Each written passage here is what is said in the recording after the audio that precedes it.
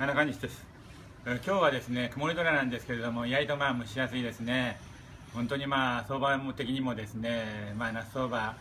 8月もですね曲がり角になってきたわけですけれどもちょっと足元弱い、まあ、そんな感じでですね私はですねもう逆張りで見るべきじゃないかと、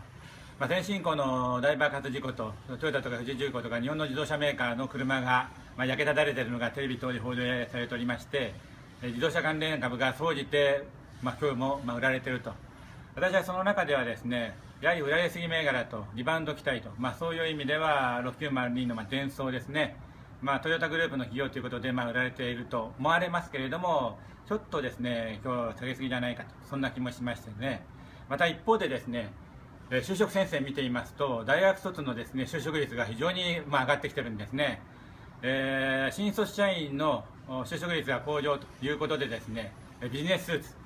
青山商事と青木インターナショナルが、まあ、2強なわけですけれどもあチャートを見てますとですねどちらの企業も自社株買いをしているわけですが、まあ、青木インターナショナルの方がですね若干、まあ、チャート見てるとですね業績は、まあ、今期予想ですね似たような感じなんですけれども、ま